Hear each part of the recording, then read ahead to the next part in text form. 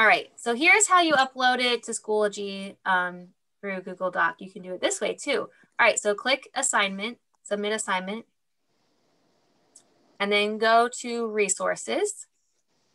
And then you're gonna go to apps. And then if you go down right below Dropbox, there's it says Google Drive resource.